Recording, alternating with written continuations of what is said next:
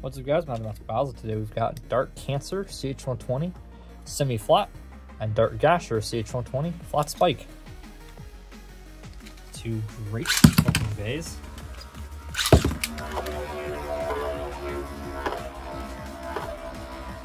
So the last turn I did was limited format, right? So if I did another CBT, it'd be regular.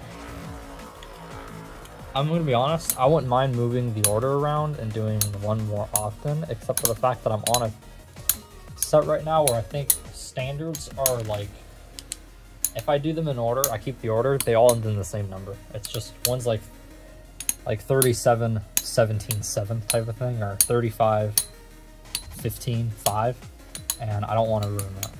There's a big hair. Sorry guys, I gotta get that.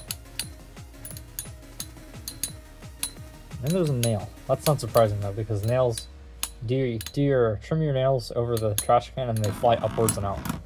Ooh, Gasher won that. I'm shocked. I guess flat spike maybe I've always thought about having a little bit more stamina, but this is an old flat spike. I'm also used to seeing uh, semi-flats from uh, Thermal Pisces and CBTs. Shout out to Ethan Calbeck, a legendary Thermal Pisces combo. Thermal Pisces left wing 105 semi-flat. That has come really close to winning. Ethan has the worst luck in CBTs. Like, the absolute worst. He was one of the, well, technically speaking on the document, he's still up there in, like, wins, but he's got a lot of losses because he's never won. And he's basically been on a string of 1-1, 0-1 type tournaments, so his win-loss record is about even, which is pretty different than everybody around him because most people who have entered that many have either won one or just had enough good rounds that they're at least a handful of battles above 500, but that is not Ethan, sadly.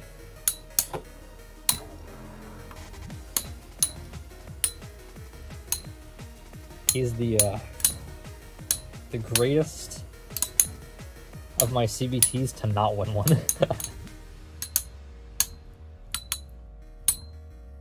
So it looks like Dark Gasher is just going to beat Dark Cancer. But these are both such pretty looking bays. I actually have a shinier Dark for that Cancer. I probably should have put it on, but whatever. Makes them even.